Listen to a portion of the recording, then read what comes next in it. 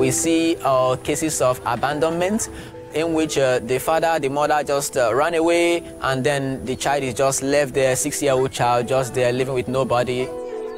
Although they all come from Cameroon, but they don't know her, she doesn't know them, she just forced to live with them. So you see so many children being vulnerable uh, in the camps.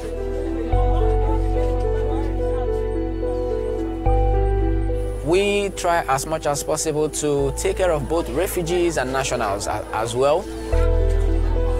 I see the intervention of uh, MSF in Cross River as timely in the sense that uh, prior to MSF uh, arriving in Cross River State, there was an overwhelming need in the health sector of the state.